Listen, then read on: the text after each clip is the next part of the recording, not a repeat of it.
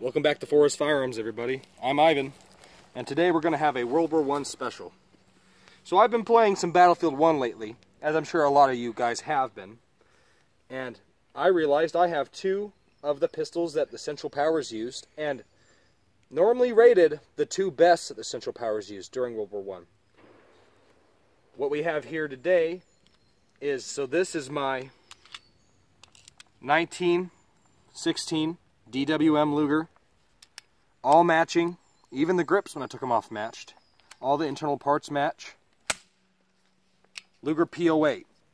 This one um, was a bring back. It has no import marks. Has all the Kaiser marks.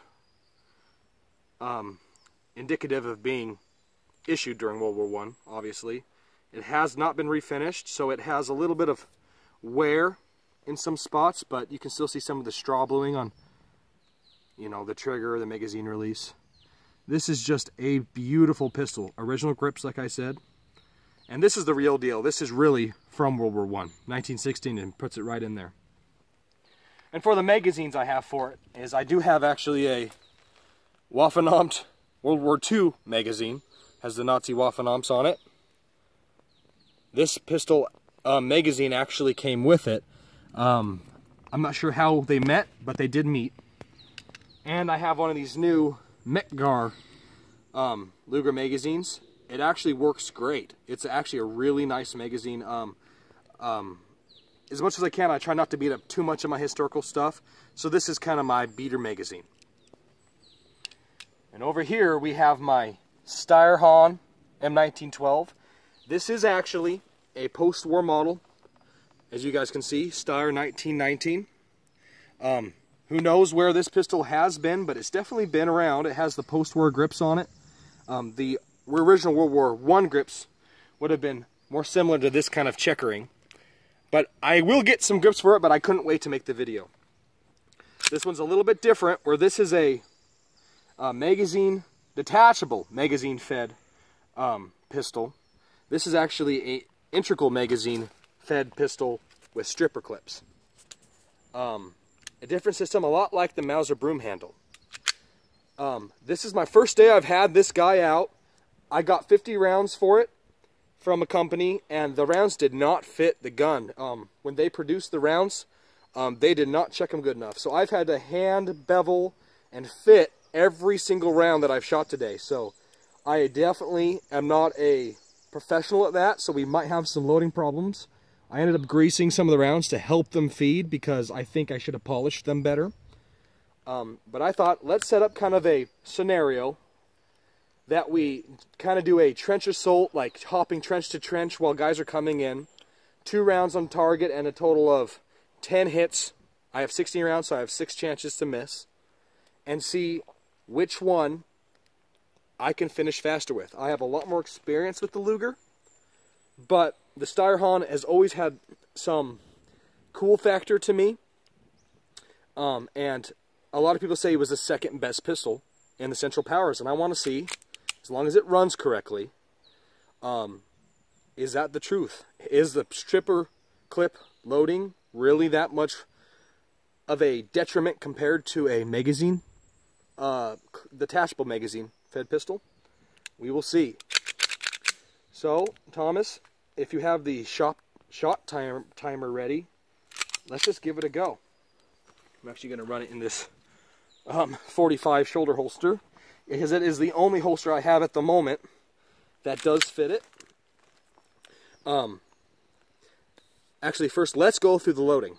So what you would do is you cock it back. As you can see, it's actually a rotating barrel, kind of like the PX4 Storm Beretta um, um, locking system. It rotates, and it's not a Browning design or even like the Luger's a toggle lock design. It is a rotating barrel design. So first things first, grab your ears, lock it back, then you want to lock the slide with your slide stop and safety. You take eight of your stripper clips, eight rounds on your stripper clip, set it in there, thumb them in, discard the stripper clip, and now we're ready to roll. So I'm to put on the safety, keep it away as much as I can. put it in the holster. Grab my extras. Put it, just I'll put them in my, back pocket actually. And let's get to it, guys.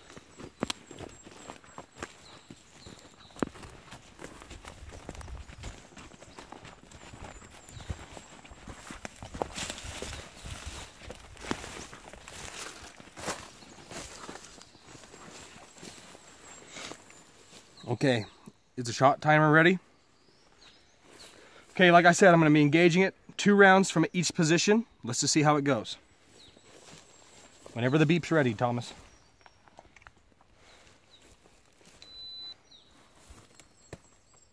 You missed your start.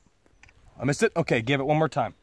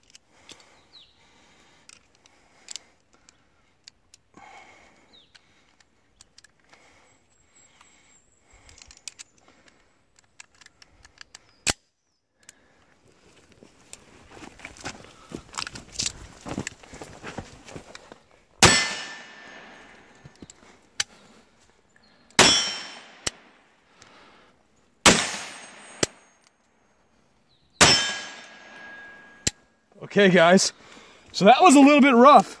As you guys can see, I'm gonna eject that round. You could also, with that button on the side, hoop, right in the dirt, spit out your extras.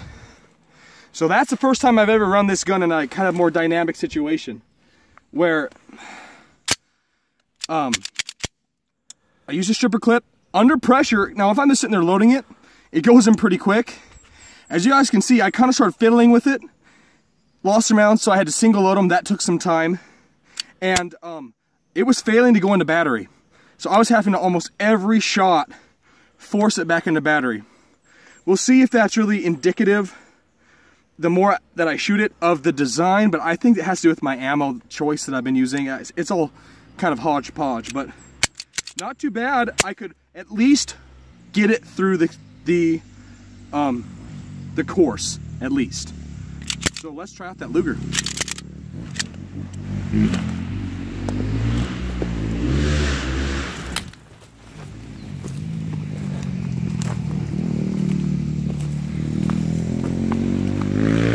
And I believe we had a bit of an issue with the shot timer. Um, Did you? I, the best I can get is that you maybe had about a 95 second run uh, it did seem to count the shots accurately, but I may have stopped it stumbling on the way following you. Well, that's okay. We'll have to use the time um, at a different at a different video. Um, let's just see from my perspective what I thought what I think is easier with the Luger.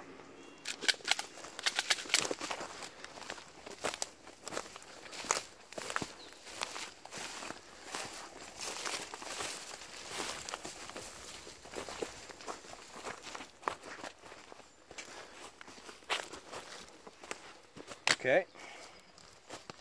Thank you, Thomas. So, for the Luger, toggle lock system. So you pull back on that racket, that's your safety, and then you're ready to roll. So I'm actually going to start with this magazine. Magazine in. Racket, you can see it has a loaded chamber indicator on there, and we are loaded. Safety on. Put this magazine in my pocket, let's go for it.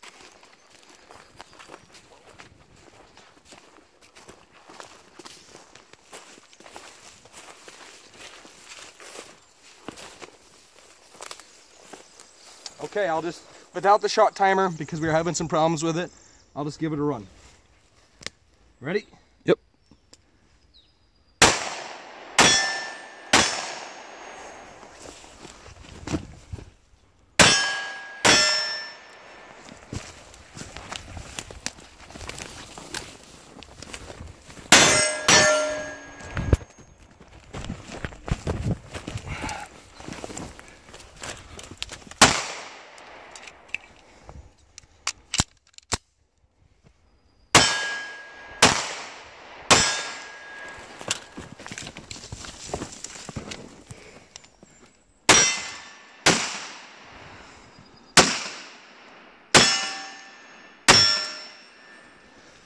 Okay, well, I just shot it a little more this time.